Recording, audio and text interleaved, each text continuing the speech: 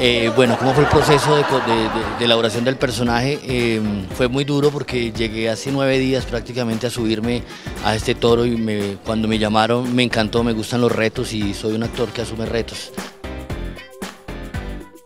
Ustedes no se imaginan lo maravilloso que es cuando inicia la obra, sale don Gérmenes, don Hermes, y escuchamos ese sonoro aplauso. Para nosotros ese nos hace crecer el alma, nos eleva el espíritu, nos hace muy felices para poder hacerlos a ustedes muchísimo más felices.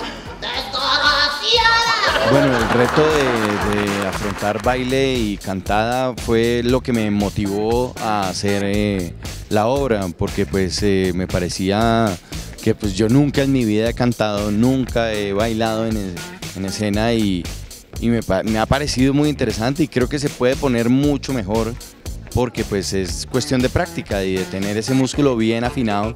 Entonces, eh, pues muy contento. para mí, y no se lo pierdan, que está buenísimo el número. Me han, felicitado por el número.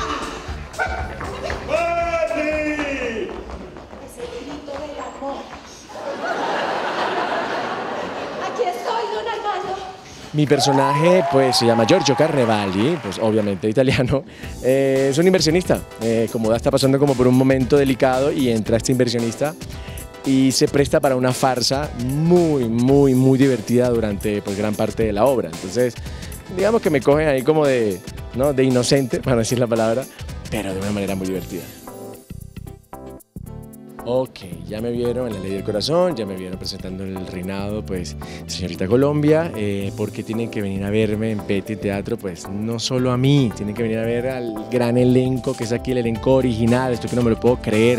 Es una obra maravillosa, escrita por Fernando Gaitán, que es el escritor original, por Mario Rivero, el director original, con el elenco original.